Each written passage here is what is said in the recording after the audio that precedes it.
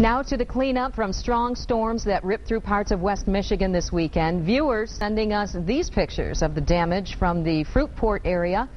Tonight, Consumers Energy says that 10,000 people are without power statewide.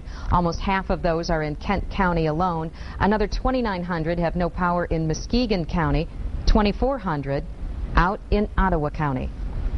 Much of the damage is centered around the villages of Kent City and Fruitport.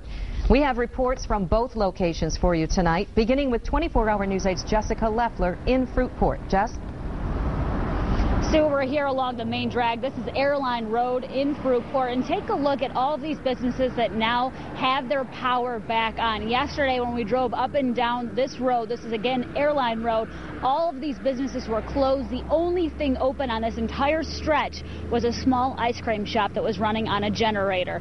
We caught up with the Fruitport Township supervisor. He tells us that Consumers Energy is still working to restore much of the power to the grid here, but they still have a long way to go.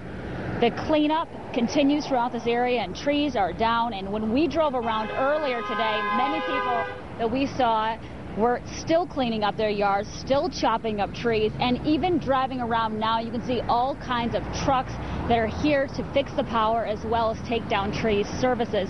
The township supervisor tells us that if you are overwhelmed, you live here in the Fruitport area and you're overwhelmed at the cost of cleanup, or if your insurance doesn't cover that cost, there might be help available for you.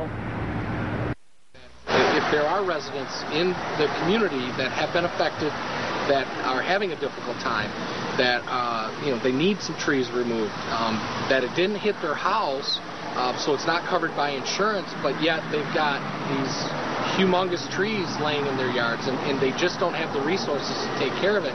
They're ask, we're asking them to give us a call.